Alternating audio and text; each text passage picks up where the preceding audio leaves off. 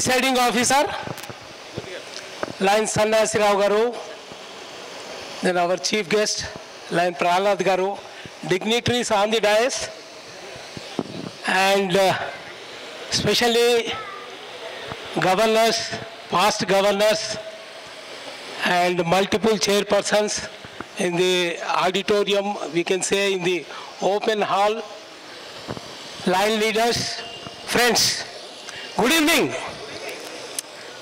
Sir, you know, whatever the best possible marks have already been given by all the PDGs and our governor. I can say only in one second. You see, it's a very good club, very active club and qualitative club, promising club and have done wonderful job to the society and also sixth position now people have announced it. It is sixth position.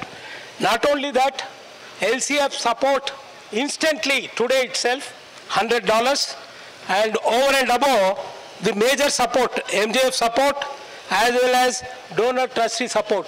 These are all amazing things amazing things. And i wanted to give them once again a big applause.